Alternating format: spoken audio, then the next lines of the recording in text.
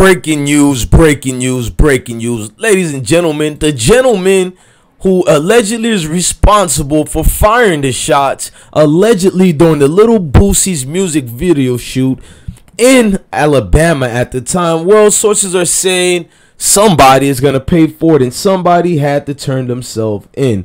Okay, we're going to get deep onto that, but you know how we do over here and how we get brazy. Let's get it.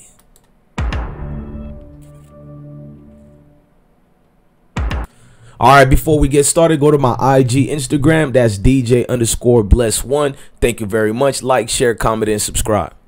Okay, you guys all remember the situation where Little Boosie was looking like he's getting brazy out here. He's doing this thing in a party. Well, the situation happened in that party and shots were fired. This is not Boosie's first time around rounds and fires being shot at him. We know about the Mo 3 situation. We know him paying his respects and ties to Dallas areas and they're going giving love to Mo 3. We're going to get into some of that a little bit later, but we got to get back into this incident and this shooting altercation because it's not really done yet and it got to be explained furthermore. Let, let's examine what baller reports are reporting.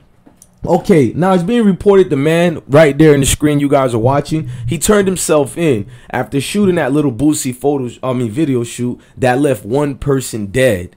Now, this was blogged by Cabbage Patch Girl. Salute to them. Huntsville police say a man was identified and charged with murder after shooting after a shooting Saturday afternoon. Excuse me. Hashtag Christopher Kwan Freeman, 22, handed himself in to the Huntsville Police Department Sunday morning. The shooting occurred approximately at 4:30 p.m. Saturday on the 200 block of Binford Drive, said Captain Michael Johnson. That's a unique name.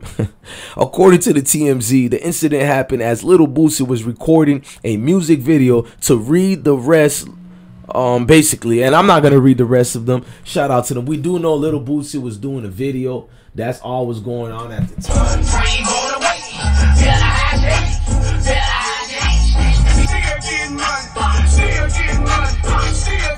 I mean, he is still getting money. Boosie Badazz is non one to not you know go through situations like that. But when you're looking at this video here and you're seeing the situation i forgot the point at the guy who died. People sent me pictures and dms i'm not gonna do that out of respect for the um dead person's family but it's a sad situation and you will get in harm's way if you're in the streets. What i more wanted to report not only that you do got to remember what police were showing out here. They were showing a lot of situations for this incident. You had the mo 3 altercation and that's when boosie was in that that situation. We're gonna do a second video about this. I want you guys to go to links in the description box and get part two of this. Look, I'm your God bless one. Thank you for watching another episode of I Smoke Hip Hop Live. Yep.